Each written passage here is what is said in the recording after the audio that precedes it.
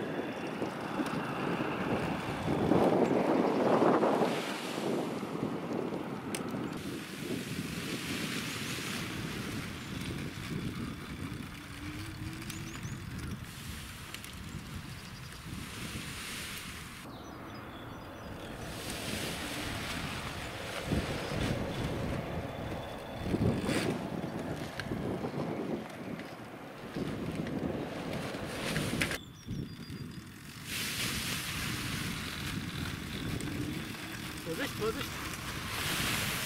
Kommst du aus dem Weg?